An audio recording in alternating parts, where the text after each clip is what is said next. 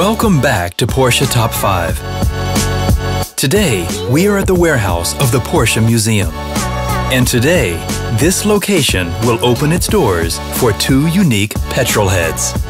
Hallo und herzlich willkommen zu einer neuen Ausgabe der Porsche Top 5 Series. In dieser Ausgabe wollen wir rausfinden, was ist der lauteste Porsche hier in den Lagerhallen.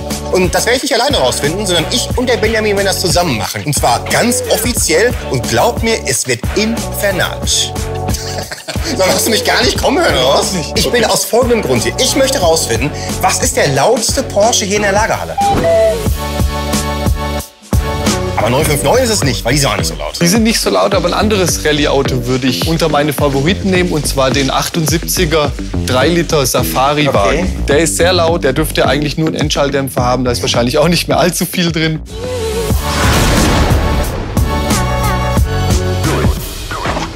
Leicht. Ist ein Porsche. Und wie messen wir das jetzt? Ich meine, wir müssen ja irgendwas haben zum Vergleichen.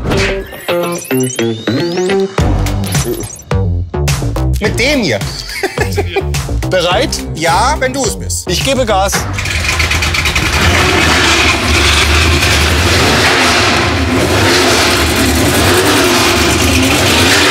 Und dann ist Nummer 5. Das ist die 5. Jetzt höre ich dich wieder. Ich dich nicht. 122,9 Dezibel waren das. Ist eine Menge. 996. Oh, das ist ein richtiges Brett. Das ist ein richtiges Brett, vor allem einer der erfolgreichsten Langstreckenrennwagen auf Basis des 911. Aber jetzt mal ohne Spaß, Benjamin. Ich, ich habe die schon mal gehört. Das ist unfassbar laut. Dann mach mal an. Ich bin bereit. Mach's nicht so spannend.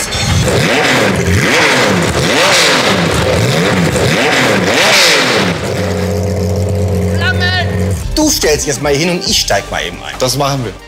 Benjamin, Ja, hörst du mich noch? noch ja. Jetzt nicht mehr.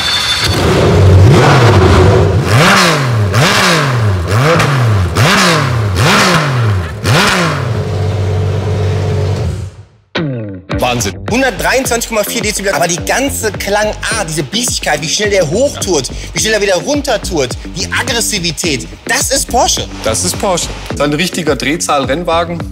Ähm, vielleicht das nächste Auto ein bisschen mehr Hubraum. Mehr Hubraum. Das wäre vielleicht nicht uninteressant. Mehr Zwei Hubraum. Zylinder mehr. Ah, dann wird das Feld schon ein bisschen kleiner. Und lauter als der. Und das wird dich überraschen. Und das wird unsere Nummer drei.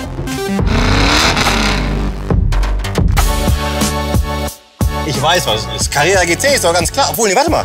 Ist ja V10. Richtig. Aber ganz ehrlich, Carrera GT ist nicht dabei. Mein fantastisches Klangbild. Das klang Das Klangbild, aber das nächste ist viel brachialer.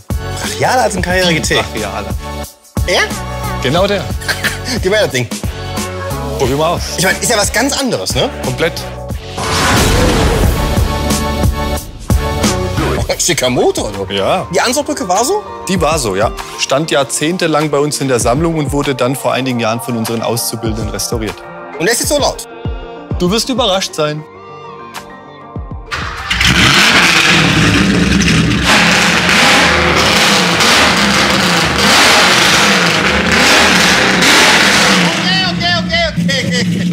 Reicht dir das? Ja. Ich rede auch immer so laut, nachdem die an waren irgendwie. 126,4 Dezibel. Plus mein rechtes Ohr piept. Und das kannst du jetzt noch toppen. Ja. Okay, okay, ich weiß. Er ist es. MP4. Fast. Toller Klang. Es geht um ein Formel-1-Auto, aber wir springen ein paar Jahrzehnte zurück. Warte mal, warte mal. Aber er soll lauter sein, richtig? Viel, viel lauter. Und die 180 PS schreien mehr als das Monster. Deutlich mehr. Ich meine, 18er Boxer wird eine ganz eigene Klangart haben. Ja. Der klingt sehr speziell, sehr besonders und für mich klanglich ein einzigartiges Erlebnis. Ehrlich? Ja. Okay, dann, dann starte ich mal das Aufnahmegerät. Ja.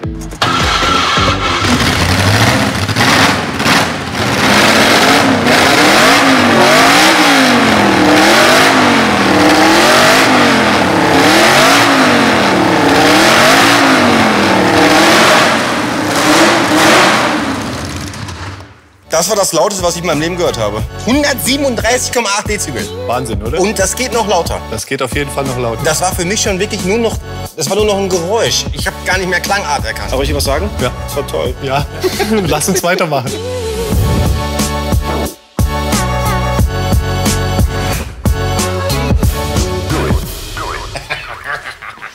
Ich habe es mir gedacht.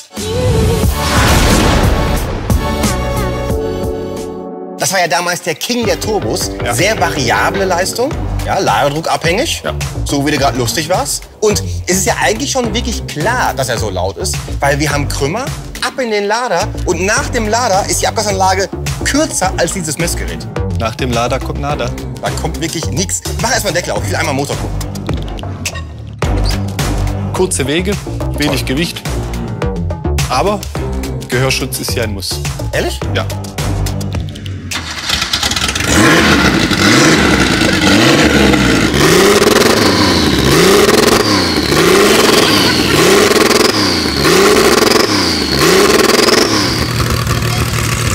Kann ich ausmachen? Ich will auch einmal Gas geben.